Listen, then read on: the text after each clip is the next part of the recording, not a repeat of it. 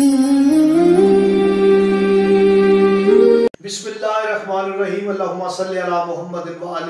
आप देख रहे हैं फैज़ हुसैनी टीवी। मैं तालब इलम हूँ, हरफ का गुलफाम हुसैनी आपसे मुखातिब हूँ। बात करूँगा आज जुमतुल मुबारक, सैयदुल यौम। मेरे इमाम का इसम भी जुमा है।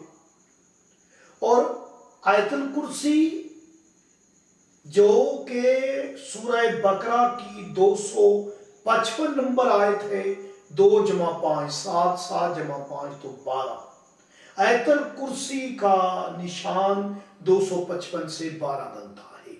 और जो आयतल कुर्सी में इसमें आज़म कहा गया है, वो है हो वल हयुल कयूम अब आप इनके हरूफ गिनती कर ले, हो के, हे क्या, एक वाव दूसरे नंबर पे, अल हई अलिफ, लाम, हा, छोटी के चार।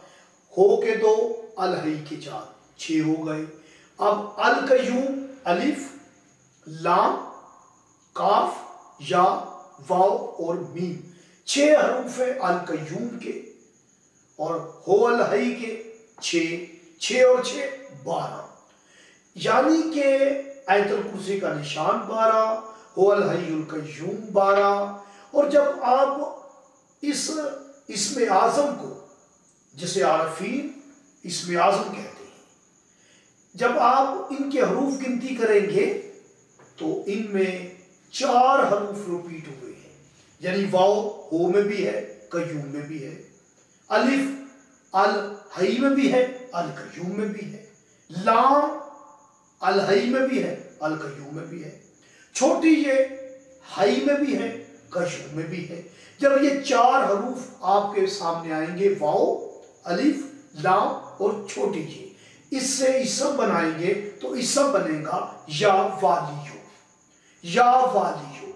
ऐतल कुर्सी पढ़े आप जुमत मुबारक वाले दिन, बारह मरतबा, और बारहवें इमाम को हदिया करते लेकिन इसके अव्वल व आखिर आपने 120 मरतबा दरूद शरीफ है इसके दरमियान आपने 12 मरतबा आयतल कुर्सी पढ़नी है।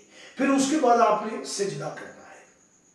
सिजदे में आपने 12 मरतबा या बारह तस्वीर या वालियो या वालियो आपने पढ़ना है। उसके बाद आपने दुआ करनी है। पहले आप मौला के जहूर की दुआ करें और मौला की मार्फत की दुआ करें कि अल्लाह मौला हमें मार्फत इमाम जमाना नसीब फरमाए और अल्लाह पाक हमारे मौला के जहूर में ताजील फरमाए। फिर आप अपने लिए दुआ करें। इन ताला आपकी दुआ कबूल होगी। मुझे इजाज़त दे। अल्लाह ने